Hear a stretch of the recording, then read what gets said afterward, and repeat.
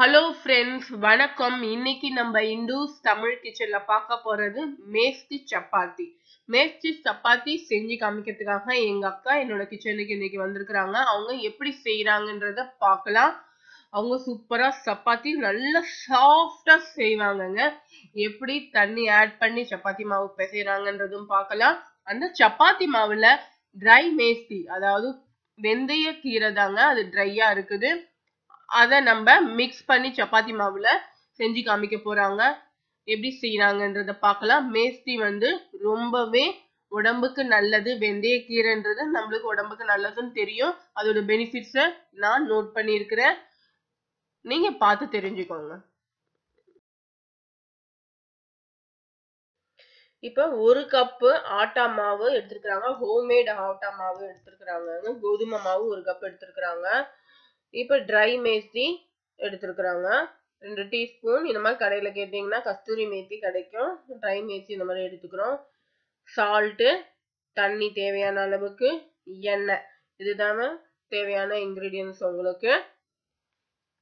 நீங்கள் குவாலிட்டியான ஆட்டா மாவு கூட கடையில் வாங்கி நீங்கள் பண்ணலாம். இவங்க ஹோம்மேட் ஆட்டா மாவு எடுத்துருக்குறாங்க. இப்போ ஒரு ஹாஃப் டீஸ்பூன் உப்பு போட்டுக்கிட்டாங்க. அப்புறம் ட்ரை மேஸ்தி அது ஒரு ரெண்டு டீஸ்பூன் அளவுக்கு போட சொல்கிறாங்க போட்டுட்டு நல்லா ட்ரை இன்க்ரீடியன்ஸ்லாம் போட்டுட்டு நல்லா மிக்ஸ் பண்ணிட்டு அதுக்கப்புறம் தான் நீங்கள் தண்ணியை ஆட் பண்ணணும். ஏன்னா அப்பதான் உங்களுக்கு நல்லா மிக்ஸ் ஆகும். நீங்க அதுக்கு முன்னாடி தண்ணி ஆட் பண்ணீங்கன்னா ஒரு இடத்துல உப்பாவும் ஒரு இடத்துல மீத்தியாவும் இருக்கும். எல்லாத்தையும் ஒன்னா மிக்ஸ் பண்ணிட்டு அதுக்கப்புறம் கொஞ்சம் கொஞ்சமா தண்ணி ஆட் பண்ணி எப்படி பிசைறாங்கன்றத பாத்துக்கோங்க உங்களுக்கு சூப்பரான சாஃப்டான சப்பாத்தி உங்களுக்கு ரெடி ஆகிடும் இவங்க பிசைற அதே ப்ரொசீஜரில் நீங்களும் ட்ரை பண்ணி பாருங்கள் கண்டிப்பாக நல்ல சாஃப்டான சப்பாத்தி உங்களுக்கு கிடைச்சிடும்.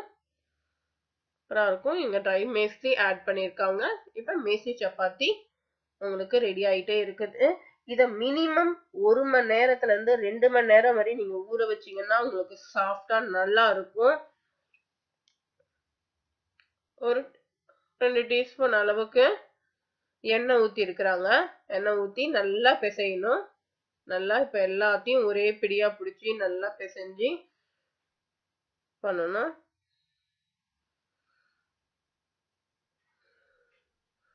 ரொம்ப ஈஸிங்க. இவங்க செய்யற சப்பாத்தி செய்யற பக்குவத்தை பார்த்தீங்கன்னா ரொம்ப ஈஸியா இருக்கிற மாதிரி இருக்கும். இதே மாதிரி ப்ரொசீஜர்ல செய்யுங்க. தண்ணி எடுத்த உடனே நீங்க ஊத்திட்டீங்கன்னா உங்களுக்கு நல்லா வராது. கொஞ்சம் கொஞ்சமா தான் ஆட் பண்ணணும். நல்லா இந்த மாதிரி டவ்வு நல்லா இது பண்ணணும். கொஞ்சம் தண்ணி வேணும்னா இன்னும் கொஞ்சமா தண்ணி தளிச்சு தளிச்சு தான் நீங்க யூஸ் பண்ணணும். இந்த பாருங்க. அவங்க ப்ரெஸ் பண்றாங்க. இந்த பக்குவத்துக்கு வரணும். அப்பதான் உங்களுக்கு சாஃப்டா சப்பாத்தி கிடைக்கும். வாவ் நல்லா மிக்ஸ் பண்றாங்க.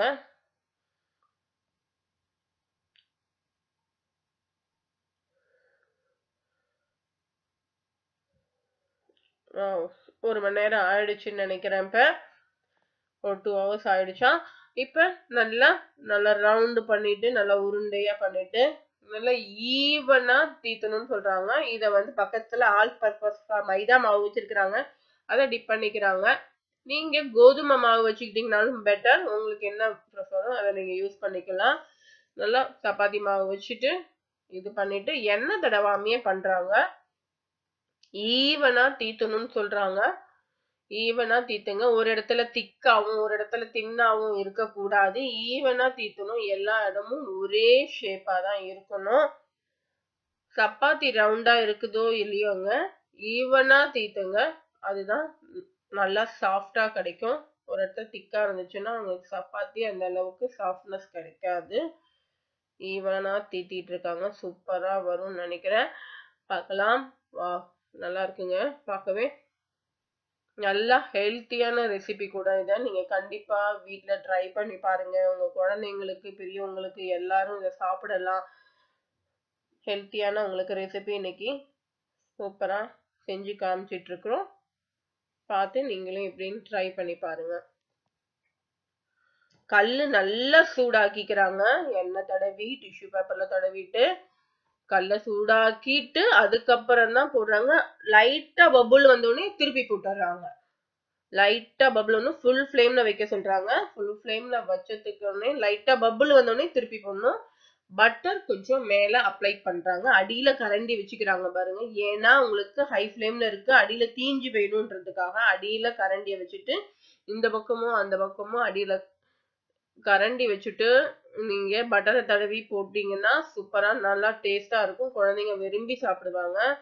பாருங்க நல்லா இது மாதிரி ப்ரெஸ் பண்ணி விட்டுக்கிறாங்க. ஃபிளாட்டான இதை வச்சு ப்ரெஸ் பண்ணிட்டீங்கன்னா நல்லா உப்பி நல்லா சூப்பரான சாஃப்டான சப்பாத்தி உங்களுக்கு கிடைச்சிடுச்சு. தொட்டுக்கிறதுக்கு இது தேங்காய் சட்னி வெங்காய சட்னி இல்ல வேற ஏதாவது உங்களுக்கு கறி வேணும்னாலும் யூஸ் பண்ணிக்கலாம். ரொம்ப நல்லா இருக்கும். சாஃப்டாகவும் இருக்கும். இங்க பாருங்க இதுதான் உங்களுக்கு கரெக்டான சாஃப்டான சப்பாத்தி ரெடி ஆயிடுச்சு. உங்களுக்கு கண்டிப்பாக இதை பிடிக்கும்னு நினைச்சிருக்கேன். நீங்கள் பிடிச்சிருந்தா உங்கள் ஃப்ரெண்ட்ஸுக்கெல்லாம் ஷேர் பண்ணுங்கள் தேங்க்யூ வெரி மச் நன்றி வணக்கம். Bye bye